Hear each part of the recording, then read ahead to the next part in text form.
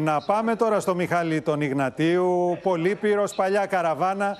Είναι όντως, Μιχάλη, τόσο διαφορετικές αυτές οι εκλογές και πού εντοπίζεις τις ε, ιδιαιτερότητες, πέρα από όσα έχουμε πει κατ' επανάληψη στα δελτία ειδήσεων τις προηγούμενες ημέρες; Ναι, καλησπέρα και, και από μένα.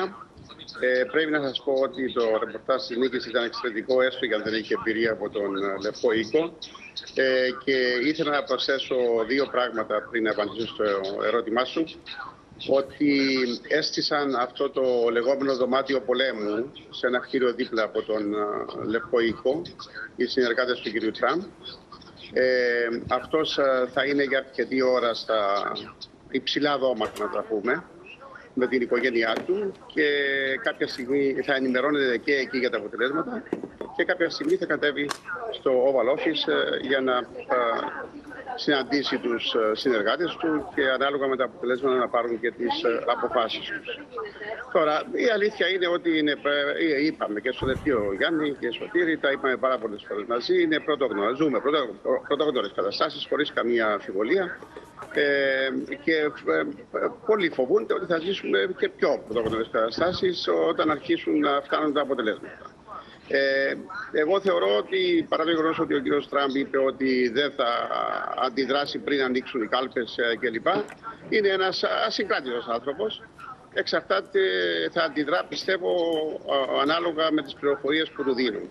Οπότε συστήνω σε όλους όσους μας ακούνε να παρακολουθούν και το λογαριασμό τους στο, στο Twitter. Ε, ε, Γιάννη, πρώτα απ' όλα ήθελα να πω με όλη την εκτίμηση στον καθηγητή ε, μια πληροφορία για, μπορεί να σας βοηθήσει και στη συζήτηση που θα κάνετε μετά. Η Κάμαλα Χάρης ε, είναι από τους βασικούς υποστηρικτές ε, του ψηφίσματος για την αναγνώριση της γενοκτονίας των Αρμενίων ε, συμπαρατάχθηκε με τον γερουσιαστή τον Ρόμπερτ Μενέντες και κατάφεραν να έχουν όλοι μαζί αυτή τη μεγάλη επιτυχία, να αναγνωριστεί δηλαδή από την Αμερικανική Γερουσία ε, η γενοκτονία των Αρμενίων. Ε, επίσης έχει διατηρεί εξαιρετικές σχέσεις με, το, με την ελληνοαμερικανική κοινότητα, με τους βασικούς παίχτες ε, της ε, ομογένειας εδώ στην Ουάσιγκτον και στο επιτελείο της είναι και μία Ελληνοαμερικανίδα και ένας ε, Ελληνοαμερικανός. Και οι δύο ασχολούνται με τα εθνικά θέματα. Μάλιστα. Τώρα, ήθελα να πω σε ό,τι αφορά... Ο κύριος Τραμπ είχε κάπου, ε, καμιά δεκαπενταριά βέβαια, αλλά αυτό δεν άλλαξε την κατάσταση. Αυτός είναι ο αντίλογος με τον κύριο Μάζη. Ναι, ναι, ναι. Απλά λέω ότι την πληροφορία αυτή, όχι την πληροφορία, το γεγονός αυτό, ε, πρέπει να το έχουμε υπόψη μας για την ε, κυρία ναι, Χάρη. Ναι, σίγουρα, σίγουρα. Διότι, ναι, ναι, διότι όσες φορές ε, της ε, ζητήθηκε βοήθεια για τα εθνικά θέματα δεν είπε ποτέ όχι. Και όπως είπα διατηρεί με mm-hmm. σημαντικούς ομογενείς μας εδώ ε, διατηρεί μια καλή, μια καλή σχέση και το πιο σημαντικό είναι ότι είναι στην ομάδα του κυρίου Μενέντες. Νομίζω δεν μπορεί κανείς να πει μια κακή κουβέντα για τον κύριο Σιασί Μενέντες. Ναι. Λοιπόν, Όχι σίγουρα. Τώρα, ναι, το, να πούμε μια είδηση που μπορεί να μας βοηθήσει για τη συνέχεια και τα δύο επιτελεία, Γιάννη, ε, έχουν στείλει ε, αξιωματούχους τους και στελέχη στην Πεσιλβάνια. Και αυτό τι σημαίνει; Αυτό σημαίνει ότι μπορεί να αναδειχθεί στην πολιτεία κλειδί. Αυτό μπορεί να σημαίνει ότι οι, οι, οι πληροφορίες που έχουν τα δύο επιτελεία είναι ότι οι δύο υποψήφοι, αν θέλετε, περπατούν ο ένας δίπλα στον άλλο σε ό,τι αφορά την ψηφοφορία πια, όχι την, ε, ναι. τις δημοσκοπήσεις. Άρα, άρα έχει πολύ σημασία να το κρατήσουμε. Το δεύτερο είναι μία πληροφορία που κυκλοφορούσε ευρύτατα στην πόλη, αλλά δημοσιεύτηκε, αντιλαμβάνομαι, πριν από λίγο στην εφημερίδα του New York Times. Κυκλοφορούσε από το πρωί.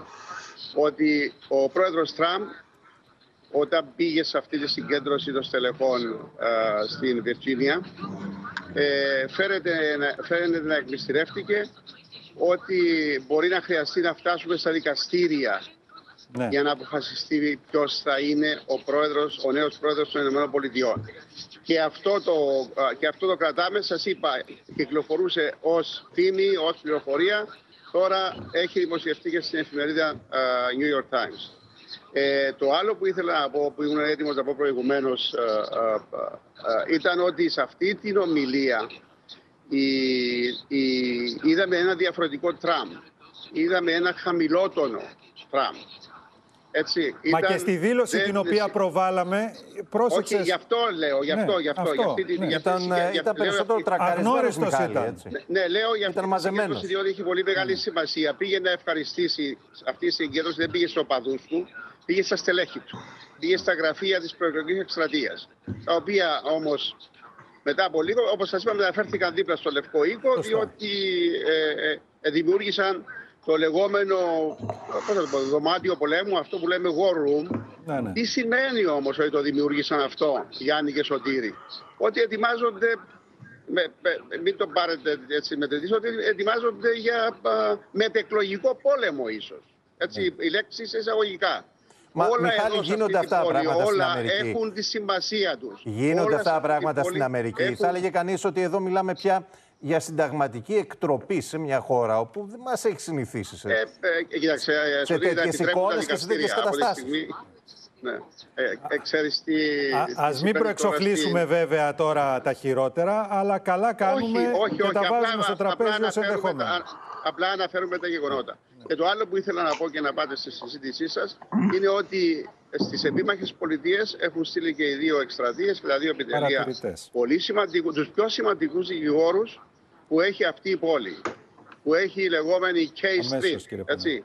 Έφυγαν για αυτές τις πολιτείες. Αντιλαμβανόμαστε όμως ότι κάτι συμβαίνει στη Πενσιλβάνια γιατί μαζεύεται, αυτό που λέμε, μαζεύεται πολλοί κόσμος. Λοιπόν, Μιχάλη, πριν φύγουμε από σένα και έρθουμε στον Κώστα τον Παναγόπουλο, ο οποίος θα μπορούσε ίσως να μας δώσει μια εικόνα και σε εθνικό επίπεδο, αλλά ίσως και στη Πενσιλβάνια, τι λένε οι τελευταίες ε, μετρήσεις. Όπου, αν δεν κάνω λάθος, Μιχάλη, την τελευταία εβδομάδα, τελευταίες δέκα μέρες, η Ψαλίδα έχει κλείσει μια πολιτεία ε, δημοκρατική καθαρά, με, με μεγάλη διαφορά τον Biden μπροστά εδώ και 15 μέρες. Ξαφνικά βλέπουμε τη διαφορά να έχει φτάσει κάτω από το 5%, περίπου στο 4,8 αν δεν κάνω λάθος. Ε, Είναι κάτω από το 5.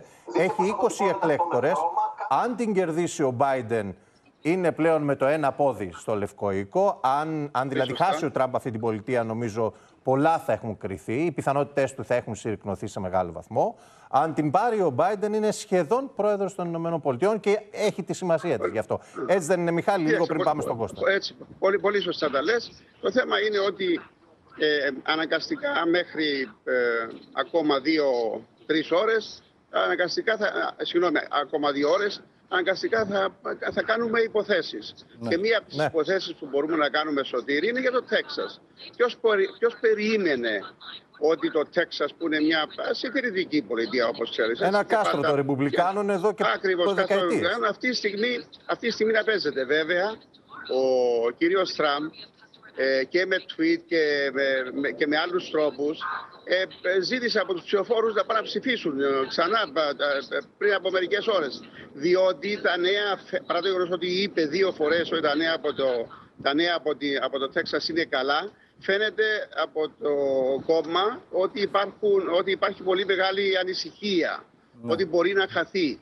Δεν ξέρουμε. είναι δηλαδή, μια μεγάλη πολιτεία, έτσι, 38 στο... εκλέκτορες. Ναι. Πολύ σημαντική λοιπόν, πολιτεία. Βεβαίως, βεβαίως, να πω βεβαίως, κάτι βεβαίως, ότι... Όπως, σε... όπως είπαμε ναι. ότι περιμένουμε τα αποτελέσματα πια, διότι, κοιτάξτε, μπορεί να, εκπλε... να, εκπλε... να εκπλαγούμε και από, και από τις δύο πλευρές. Μπορεί, το...